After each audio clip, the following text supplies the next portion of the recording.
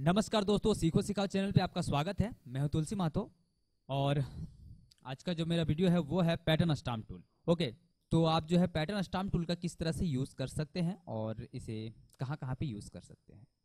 तो चलिए आज के वीडियो पे आते हैं। वीडियो पे आने से पहले मैं आपको एक चीज़ बता दूँ कि अगर अभी तक से जो है आपने मेरा जो चैनल है अगर सब्सक्राइब नहीं किया है तो प्लीज़ सब्सक्राइब कर लें। सब्सक्राइब करने का फ़ायदा यही है कि जब कभी मैं यूट्यूब पे नए वीडियो अपलोड करूँगा, आपको उसकी नोटिफिकेशन आ जाएगी। और एक बार आपके पास नोटिफिकेशन आ गई तो आप जब चाहे उस वीडियो को देख सकते हैं। तो चलिए, आज के वीडियो पे। तो ये देखिए, मैंने फोटोशॉप ओपन कर लिया है और यहाँ से मैंने जो है ये पैटर्न स्टाम्प टूल सेलेक्ट कर लिया। यहाँ पे डबल क्लिक करते हैं, कोई फ़ोटो लाते हैं। ये देखिए, हमारे पास एक फ़ोटो है और इसे जो है मैंने गूगल से डाउनलोड की है तो जिनकी फ़ोटो है, जिनकी इमेज है क्रेडिट उन्हीं को जाता है। तो जैसे कि मैंने यहाँ से पैटर्न स्टाम्प टूल सेलेक्ट किया तो यहाँ पे देखिए आपके पास ऑप्शन जाते हैं। एक तो सबसे पहले साइज़ का हार्डनेस और सॉफ्ट तो यहाँ से आप कोई भी जो है ब्रश सेलेक्ट कर सकते हैं, कोई ब्रश जो है चुनिया ऐसे ले सकते हैं आप। ठीक है? यहाँ से जो है आप ब्रश का पैनल ओपन कर सकते हैं। ओके, और यहाँ से स्पेसिंग दिया हुआ है। मैं, अगर आप स्पेसिंग के बारे में नहीं जानते हैं तो मेरे पिछले वीडियो आप लोग ज़रूर देखें। मैंने उस पर बताया कि जो है स्पेसिंग इसे किस तरह से यूज़ किया जा सकता है और यहाँ से हार्ड ये ठीक है। चलिए यहाँ से मैं इसे क्लोज कर देता हूँ ओके फिर यहाँ पे दिया है मोड दिया हुआ है, ठीक है? और इस मोड का भी आप यूज़ कर सकते हैं। ओवरले दिया हुआ है, आप कोई भी यूज़ कर सकते हैं। मैं नॉर्मल करता हूँ। ऑपिसिटी दिया हुआ है, यहाँ पे फ्लो दिया हुआ है और यहाँ पे दिया हुआ है ये जो है पैटर्न अगर आपके पास इतने सारे पैटर्न नहीं आते हैं तो आपको क्या करना है? रीसेट पैटर्न और ओके कर देना है। तो ये देखिए बाय डिफ़ॉल्ट जो फोटोशॉप के पैटर्न आते हैं, वो ये हैं। हो सकता है आपके यहाँ पे और भी हो। तो यहाँ पे क्लिक कीजिए और यहाँ पे देखिए, यहाँ पे ब्रशेस यहाँ पे देखिए, यहाँ पे आपके पैटर्न आ जाते हैं। तो यहाँ पे इसे जो है, आप किस तरह से देखना चाहेंगे, वो चीज़ है लार्ज या बड़े बड़े दिखेंगे। अगर आपको टेक्स्ट ऑनली है तो इनका नाम दिखाई देगा यहाँ पे।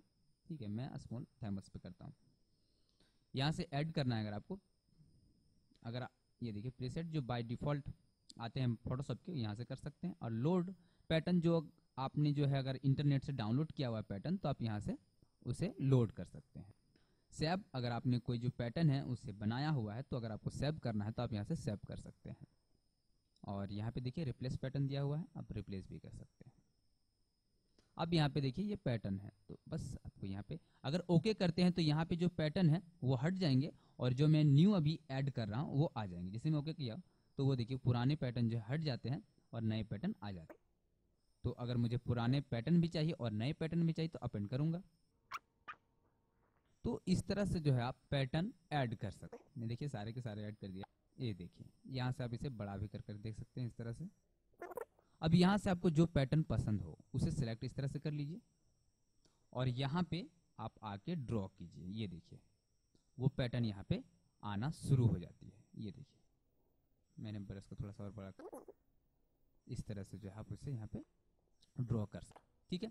अब ये जो ओपिसिटी है, अगर इसे मैं थोड़ी कम कर दूँ तो ये देखिए, अभी तो ये पूरी कलर आ रही थी, अब इस यहाँ पे देखिए थोड़ी थोड़ी कलर आएगी।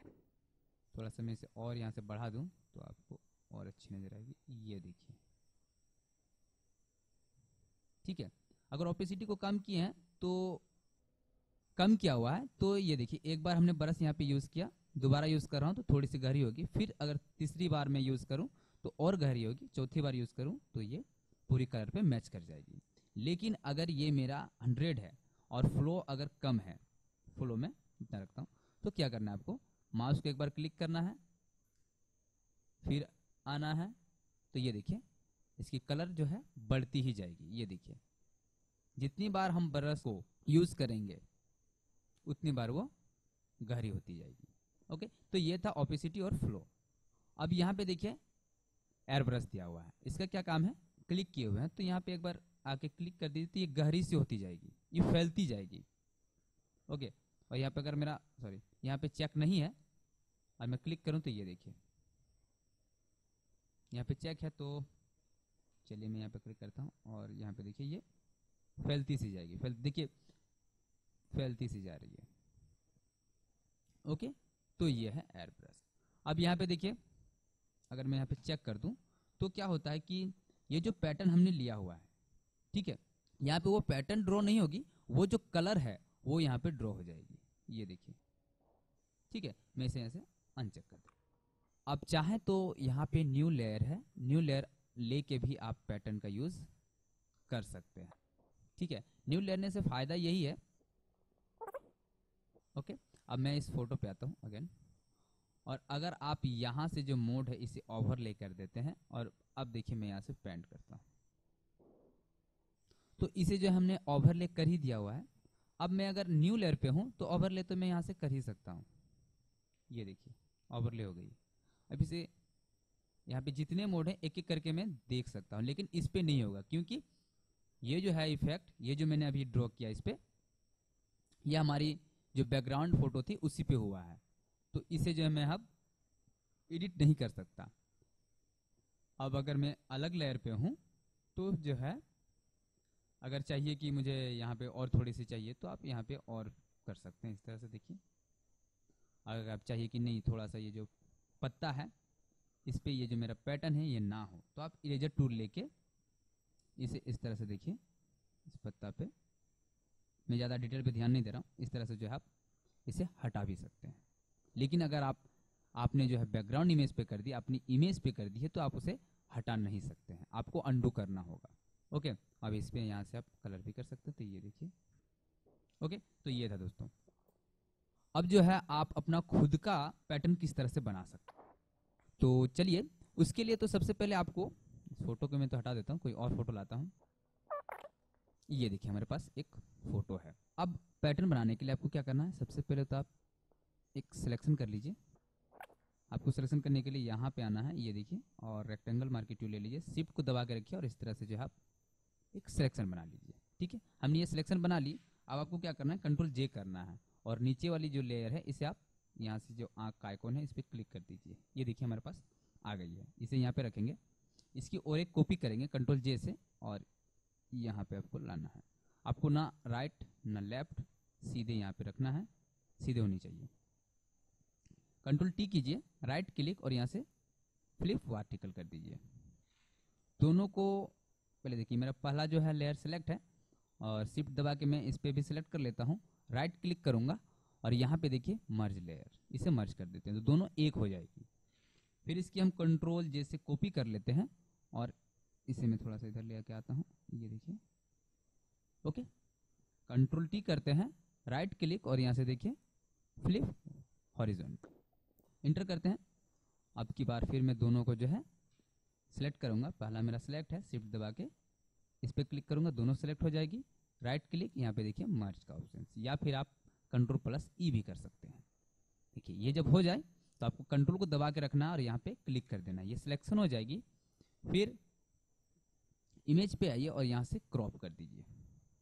ये सिलेक्शन हटाने के लिए आपको सिलेक्ट पे आना है और यहाँ देखिए डी सिलेक्ट या फिर अपने कीबोर्ड से कंट्रोल प्लस डी कर दीजिए। ये सिलेक्शन हट जाएगी। अब एडिट पे आइए। यहाँ पे देखिए डिफाइन पैटर्न दिया हुआ इस पर क्लिक कर दीजिए। और ये जो पैटर्न है, इसका क्या आप नाम देना चाहते हैं, उस नाम से आप ओके कर दीजिए सेव कर दीजिए। ऐसे क्लोज कर दीजिए। अब हमें इसकी ज़रूरत नहीं है। ये देखिए, इस पर हमें वो पैटर्न चाहिए। तो मैं इस पैटर्न पे आता हूँ। ये देखिए, इस पैटर्न पे। और यहाँ पे सबसे लास्ट में आपको वो पैटर्न आप, जो आपने बनाया है, वो मिल जाएगा। और यहाँ पे वो ड्रॉ कीजिए। ये देखिए हमारे पास वो जो पैटर्न है, वो आ गई है।